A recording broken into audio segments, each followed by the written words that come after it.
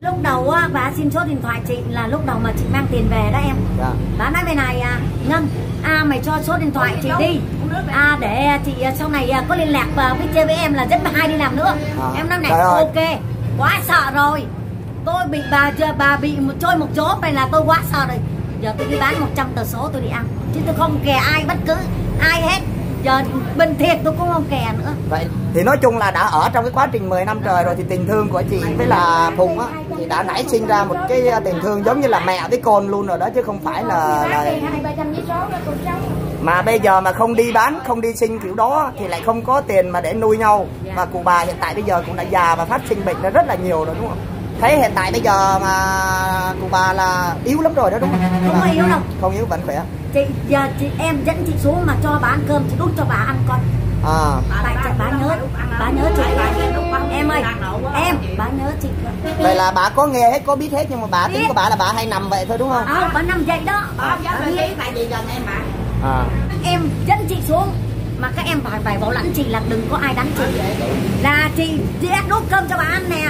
Mẹ hai con ngân lại mẹ thăm mẹ. Đó là bà ngồi dậy bà khóc cho coi nè em. À. bà ngồi dậy bà ngẩng mặt lên bà khóc liền bà ôm chị liền chị hứa với em vậy đó. Nó không tin cho cho cho ăn uống đàng hoàng với đi bán. Sữa dùng có mua cả thùng cái thùng luôn. Dạ. Cho uống sữa mua thuốc rồi kia uống dữ lắm đó thấy không? Mấy người này ta cũng nói là dọ bên kia người ta cũng lấy hoài đây là những người hàng xóm mà ở cùng chung phòng trọ với lại à, chị Ngân đây mọi người. À, à, là nó chấm kiến luôn mà. Nói chung là khu vực này là người ta biết hết. Rồi người ta cũng nói rằng là tại vì cái à, bà nhặt dọ bên đây bà không hay đó. Bà hay bà cũng bà nói đó. à, tại bà Cái nhà qua đi. Thì à, à. có ai cứ kêu hết qua đây à, nhiều người nói thì người ta càng tin nhiều hơn đi. À, đi, Tốt, bây rất giờ tốt. đi bán ba 400 tờ giấy số, 400 tờ giấy số mà tiền nhà trọ thì một ngày 70 ngàn. Rồi mấy anh đi tính Đậu tiền, rồi tiền không à? ăn rồi tiền nhà trọ rồi lớp nào một tháng gửi gì mười cái 10 triệu bạc nữa. Rồi em để để tới đủ một tháng mà để mà mà gửi tiền về ngoại những chi bà này bà thấy như vậy bà đi dẫn bà như hai nó đi bán số cho bà. Rất tốt đối xử chứ còn hơn bà già ruột. Đó. Tụi tôi ở đây còn chưa biết bà là ấy nữa. nhờ bà già bữa đó là ta ngồi cái vui bà nói thôi. chứ tôi tưởng là bà mẹ ruột của bà này về nè em. Một trăm ngàn về đập ra mượn mấy cái chày bài mấy bà này lột ra. có từng miếng từng miếng cho bà ăn. Trọ đây cũng có cụ bà rất là già đây là mọi người này là người ta đã nói rõ hết cái sự việc để cho tất cả mọi người cùng biết luôn. Tôi không? Biết cái bà đó. Tôi mà đã chờ gửi bà có thể chắc có thể tôi đánh lộn với bà đó. À. bà nói tầm bậy tầm bạ. Chứ cô này là nói thiệt. Lúc rất tốt là bà còn trẻ bà ra bà tâm sự này rồi. Kia bà nói là chị em bà đối xử bà như vậy rồi thành thử ra ngân này á, là chỉ là con nuôi thôi.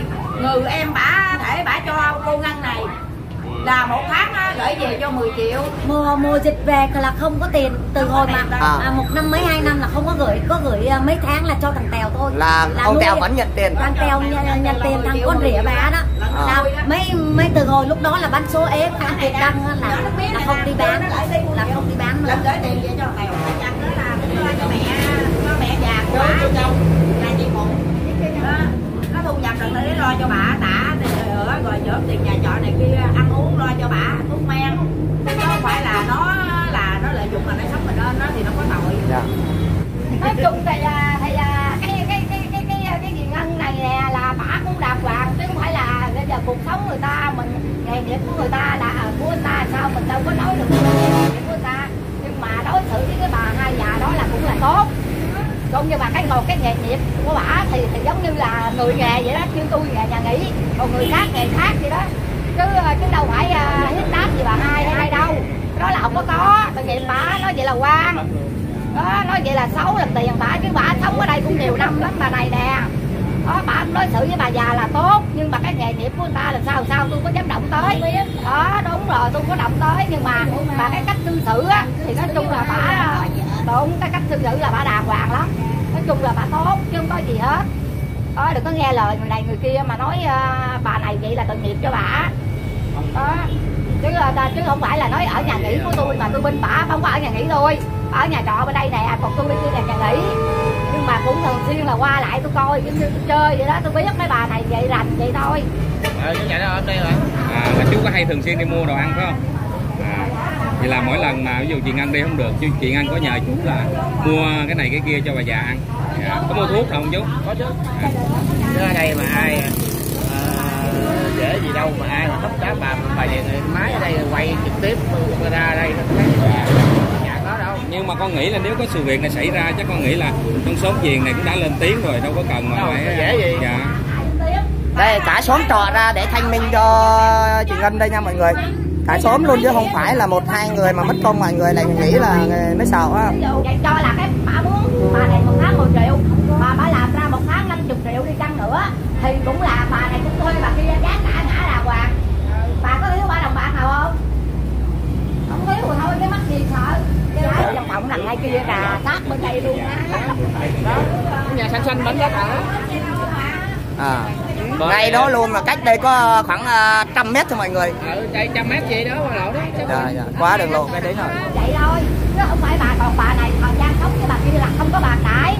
Ở đây là ngay cả ba người ta sát bên nhà nghỉ tôi đây này. Không có đâu ra lạ đâu. nhà nghỉ bên đây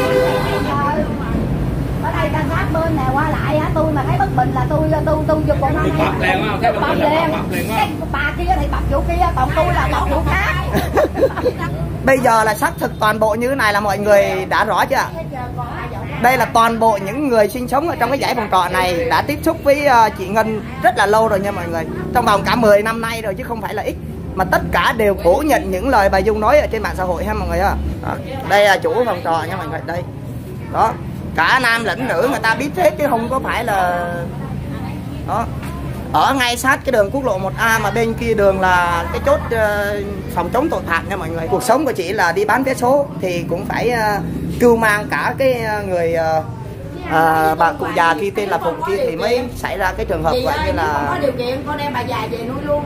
Chứ con không bao giờ đài bà già. Nó nói hoài gì nó nói nếu con có điều kiện con có cha mẹ con có nhà cửa thì con phải đem bà già về nuôi khỏi cần bà già đi bán chiều về khóc. Nữa đi bán chiều về khóc mà lúc đầu mà ăn thiền nha ăn vô ăn nói cái bà già đấy là tại sao là bà bà, bà ngân có đối đãi gì với bà? Bà nói là không có. À, mà tại sao giờ bác ăn thiện vô vô nữa mà tại sao nói à, cái tay à, chị quất cái tay này nọ? Tại sao như vậy? Là không bao giờ có. Chị nói phải phải phải phải phải nói là hai lời không?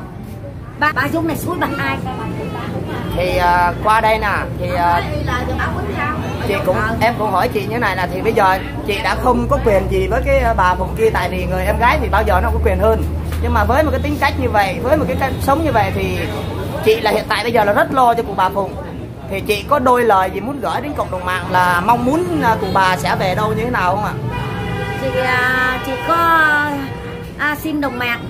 Là chị có như giống là cái lời, lời nói là lời cuối cùng của chị. Sau này đừng có đưa cho bà Dung coi bà sẽ vô đưa tận ngay riêng lão cho bà dưỡng sức. Sau này chị có đi bán số hay có kêu kêu kêu tụi em chở chị vô thăm bà. Là mua hai ba thùng sữa vô thăm bà. Là người là chị mong ước là vậy thôi chứ chẳng chẳng mong ước cái gì hết. Đó à, cái à, mong ước của chị Ngân hiện tại bây giờ là mong sao cho cụ bà sẽ có người đứng ra bảo trợ để lo lắng cho cụ bà thôi nữa phải đưa vô chứ. Cứ ở với bà Dung ngày nào là khổ ngày đó đó là theo lời. Đã không lo đâu Dạ bà không lo đâu. Thì bây giờ chỉ có vui về dưỡng lão thôi với lại à, bây giờ mà mạnh thường quân người ta giúp đỡ thì tất cứu là số tiền sẽ vào tay bà Phụng à, bà Dung kia chứ không thể vào tay bà Phụng được. Cho nên là rất là khó khăn cái chuyện này thì là sẽ để cho cụ bà được vào cái uh, hỗ trợ ở người cao tuổi á để cụ bà sống trong những cái ngày tháng cuối đời được uh, uh, vui vẻ hơn. Thì uh, cho em hỏi là cái hoàn cảnh gia đình của chị là hiện tại bây giờ là nó rất là thiếu thốn đúng không chị Kiểu không giống mà chị ở nhà trọ à, hồi mà dắt bà về đó chị còn có dư hai chị vàng á thì à, chị có đưa cho cho cho chị Dung hết rồi. À là thủ được có hai chỉ vàng là là xuống là đưa hết luôn rồi. Là tủ à, hai chị vàng với 100 ngàn à mà 500 ngàn Dạ. là chị đưa hết rồi. Là chị không còn đồng xu nào hết trong túi gì hết. À, là là- mấy mấy chị em ở xóm này cho chị cơm ăn đồ này nọ. À, đi xin ăn mấy ngày nay đúng không? Từ cái ngày mà mai quen à, rồi à. Thì à, chắc cú rồi cuộc sống như vậy mà có có bà cụ kia thì đi xin với đi bán vé số thì mới có tiền để ăn mà bây giờ không có cụ kia nữa thì cuộc sống sau này của chị là rất là khổ. Mà không minh oan cộng đồng mạng không minh oan cho chị thì chắc có khả năng là cuộc sống của chị là không biết làm cái gì để sống ở đây. Mà ra đường là rất là nhiều người người ta e dè người ta theo dõi người ta làm này làm kia. Rồi á, ta thấy hoàn cảnh nó lên mạng gì không bao giờ ta nở lấy tiền nở ra bao giây nó Đúng rồi. Đang bao giây lo bà già mà giờ người ta xóa nợ rồi người ta không có không có đòi gì nữa. Tôi nói tôi người ta bỏ qua hết rồi. Thì qua những cái thước phim của lực tàng đây thì nếu như mọi người à, chắc hẳn đến bây giờ là mọi người đã nhìn nhận đến sự việc này. Thì cũng rất mong những người trong và ngoài nước á, cũng à, mở rộng vòng tay yêu thương để à, đón nhận cái sự thật này. Và cũng à, mở rộng cái vòng tay nhân ái. À, vậy là nói vậy là nó ra kêu quan người ta đậu cho người ta trời. Em ta lo bà già từ đi từ trước mà mà bây giờ là làm như vậy đó là mình thấy bắt cam quá. Là ở đây là tụi tôi á là người ngoài không cái bắt cam thì tụi tôi phải đưa lên có lên tiếng cho giải quan cho cô ngân này chứ không à. Chứ mấy, mà mấy ngày này chị đâu có ăn uống gì đâu chị cứ ngồi kịch khổ chứ bây giờ á, nhờ á, các cộng đồng mạng giúp đỡ cho bà dùng giải minh cho bà chứ không mà hiện tại à, bây giờ chị có à, dính canh bệnh gì trong người không? Hay là sức khỏe vẫn bình thường chị? Có cái chân chị bị khó chân lô bà già đi lô bà già cứ nằm ở trên tay chị. À là bà đè nhiều quá rồi cái chân hiện tại bây giờ là cũng bị luôn đúng không? Thì cuộc sống của chị bây giờ là rất là khổ cực rồi. Thì cũng mong mọi người hãy à, giúp đỡ mở rộng vòng tay yêu thương qua kênh lực tàng thì mọi người hãy ủng hộ chị này. Đó là thực sự là mong ước của lực tàng phòng trọ là bây giờ một tháng bao nhiêu tiền chị? Một, một ngày năm chục. Một ngày năm chục ba năm mười lăm tháng triệu rưỡi. Thì bây giờ em cũng nói như thế này. Mọi sự việc là hôm nay là gặp trực tiếp tụi em là rõ ràng rồi. Thì cũng rất mong chị thì cố gắng là những cái ngày tới mà chưa có cái tiền thì bà bà con hàng xóm ở trong cái dãy nhà trọ này là thì giúp đỡ được cái gì thì chị cứ cố gắng sống qua ngày và nếu đi bán vé số được thì chị cứ đi bán đi. Dạ. để này kia còn nếu tụi em mà gom được tiền từ thiện của những người mà người ta yêu thương mình á người ta nhìn nhận ra sự việc thì người ta yêu thương mình thì người ta sẽ giúp đỡ thì tụi em sẽ gom cái số tiền đó để xuống giúp đỡ cho chị trong thời gian sắp tới. và tụi em cũng rất mong muốn chị là bỏ ngay cái ý định không được đi làm những cái vấn đề gọi như là à, dẫn những người này người kia đi nữa. với à, đồng mạng là à, từ nay trở đi là chị cầm số chị đi bán à, đó. Thì à, làm những công việc vậy như là nó ờ, hơi cực khổ một tí nhưng mà cái sự việc mà dẫn dắt người già đi như vậy á là chắc cú là dính tội đấy. Đó là những cái hành vi gọi như là dối trá để đi lừa những cái người mà có cái lòng thương trắc ẩn ở ngoài đường á. Đó là cái cái tệ nạn cái vấn nạn của xã hội này hiện tại bây giờ là đang lên án rất là nhiều đó chứ không phải là này kia đâu. Thì đó thì hôm nay em cũng nói cho chị rõ như vậy thì cũng rất mong tất cả mọi người mở rộng vòng tay yêu thương và đón chào chị một lần nữa để chị không phải uh, uh, khó khăn trong cái cuộc sống. Nếu như mà chúng ta không nhìn nhận ra sự việc thì chị sẽ bị săn lùng giống như một tội phạm đang tức là cái tội phạm này là cơ quan nhà nước chức năng là người ta không săn lùng nhưng mà săn lùng là săn lùng ở những người chưa hiểu ra cái sự việc. Đây là cái dãy phòng trọ mà chị Ngân đang ở đây nha mọi người. Phòng trống trơn vậy.